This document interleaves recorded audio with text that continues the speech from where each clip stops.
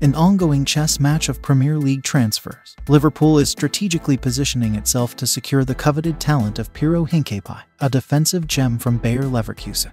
Reports from Caught Offside reveal that Jurgen Klopp, the mastermind behind Liverpool's triumph, is keen on outmaneuvering rivals Manchester City and Chelsea in the pursuit of the promising Bundesliga defender. Although the Reds have not yet initiated direct contact, they are orchestrating moves to surge ahead in the race, with Klopp being a vocal admirer of Hincapié's skills. The allure of the 21-year-old Ecuadorian, who has found himself on the fringes at Bayer Leverkusen, lies not only in his defensive prowess, but also in his versatility to seamlessly slot into central or left-hand positions, a quality that could prove invaluable given Liverpool's recent defensive setbacks. Caught in a tug-of-war with Bayern Leverkusen, Liverpool could potentially sway the balance with an offer in the ballpark of 70 euros M, a sum that might prompt Xabi Alonso's side to reconsider holding on to their prized asset, even if just for another season. The narrative gains momentum as recent statements by Florian Plettenberg suggest that Hincapié is yearning for a change and is open to embracing a new challenge in the upcoming winter transfer window.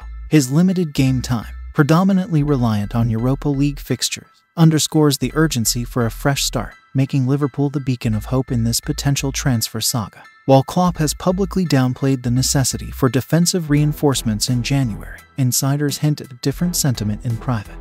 The manager, grappling with injuries to stalwarts like Andy Robertson and Joel Matip, likely recognizes the need for a robust defensive lineup to navigate the challenges of the remainder of the 2023-24 season successfully. The prospect of securing Hincapié comes at a significant cost, but if Liverpool is willing to invest around £60 M, it could be a strategic move to assuage the fears of fans regarding the team's defensive depth. As the transfer saga unfolds, Liverpool emerges as the primary team to watch, orchestrating a symphony of moves to fortify their backline and propel themselves to greater heights in the Premier League.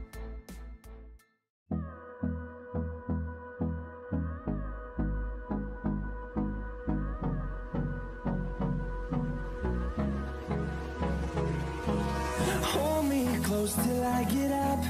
Time is barely on our side.